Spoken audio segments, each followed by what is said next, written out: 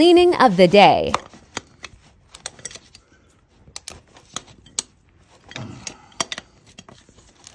I wouldn't stand right there. You may, you know what I mean? Yeah.